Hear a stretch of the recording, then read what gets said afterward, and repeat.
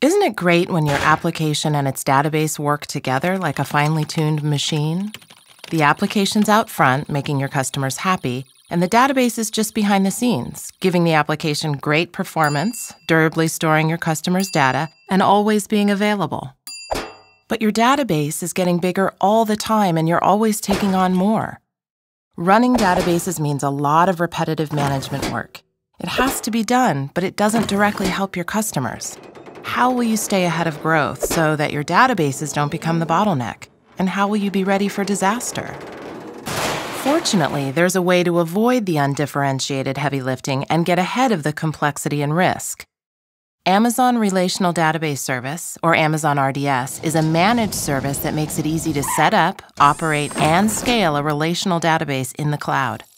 You can choose from the new Amazon Aurora engine, MySQL, PostgreSQL, Oracle Database, or Microsoft SQL Server. And AWS even keeps up with patching them for you. You can keep using existing tools and applications. With Amazon RDS, there's no need to buy, rack, and stack hardware, and no need to install software. Just click and go, and new databases will be made available while you do more important stuff. And there's no need to stress out about capacity planning. Scaling up your databases becomes easy because you can get more capacity and horsepower whenever you need it. You can even scale out your database by adding read replicas. Giving your database high availability is simple with Amazon RDS. Just choose to run in multiple availability zones. If disaster strikes, RDS will fail over to a standby, and you can replicate your data to another AWS region, near or far, with the push of a button. Amazon RDS even lets you run replicas in other regions. Backing up and restoring your database can be a big headache, but Amazon RDS makes it easy. You get automated backups that let you recover to a point in time you choose.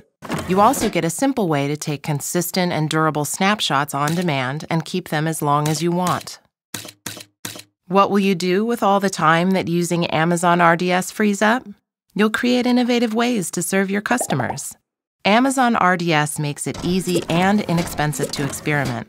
Clone your databases as many times as you like, and discard the experiments when you're done. You pay only for the resources you use. Amazon RDS the easy way to set up, operate, and scale a relational database in the cloud. Visit the AWS Management Console and launch your first database instance today.